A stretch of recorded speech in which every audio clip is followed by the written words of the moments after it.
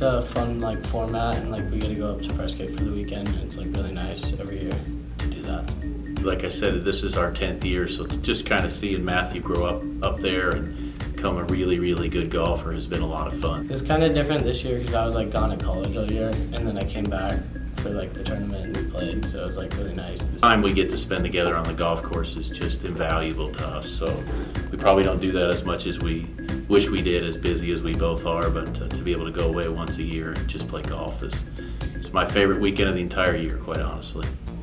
We'll definitely be back playing again next year.